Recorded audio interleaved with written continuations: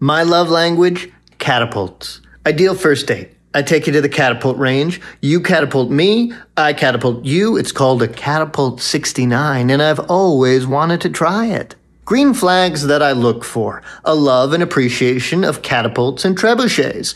Red flags that I look out for. A love and appreciation of castle walls. I don't like castle walls. Never have. Want to see them smashed up real good. And a piece of advice for all of you trying to slide into my DMs. Don't be sending me tasteful nudes of you standing next to a battering ram. I'm not into all siege engines. Now, do I like Battering rams? Yeah, I like battering rams a whole lot, especially when they're knocking down the gates of a castle wall. But nothing compares to the sexuality of the tension and release of a catapult.